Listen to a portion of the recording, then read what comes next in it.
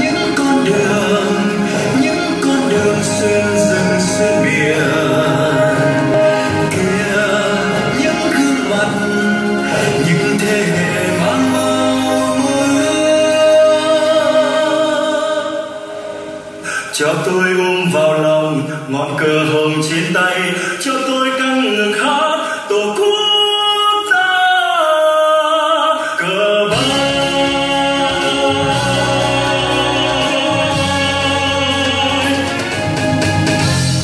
lời ca với tổ quốc.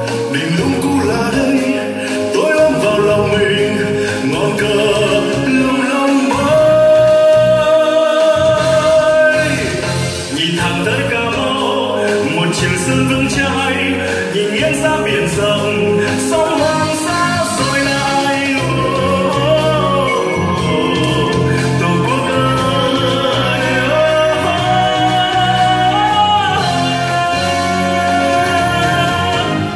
người cho ta khát khao những chân trời. Người cho ta soi mặt những dòng sông người cho ta ôn lòng trường sơn vững chãi. Người cho ta trẻ mãi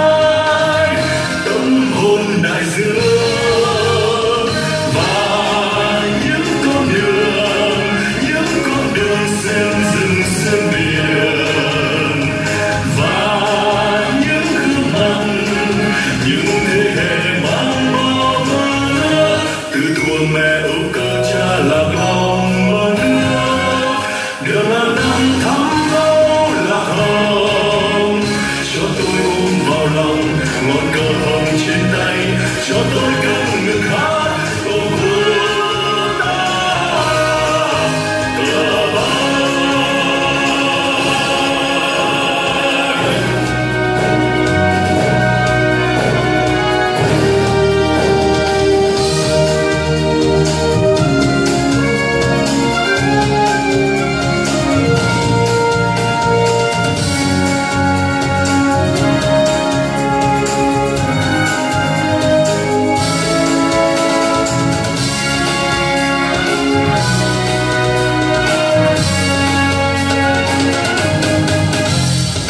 know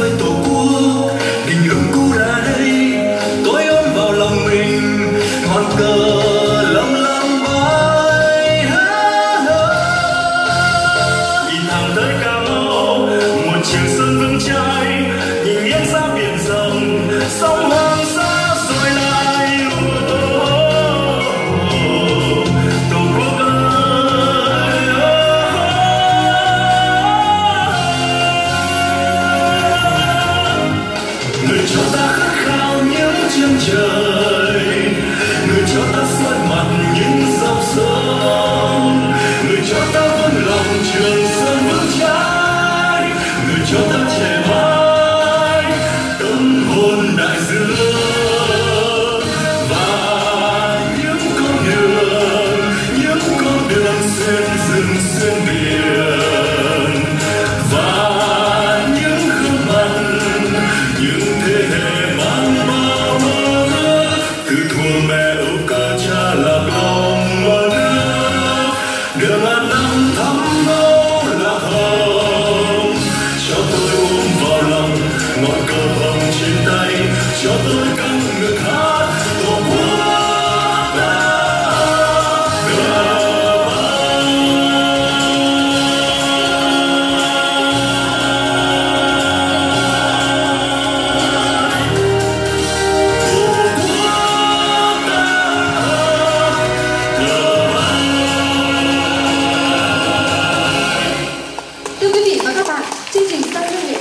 biệt Niềm tin và khát vọng, kỷ niệm 90 năm ngày báo chí cách mạng Việt Nam do Đài Phát thanh Truyền hình Hà Nội tổ chức đến đây kết thúc.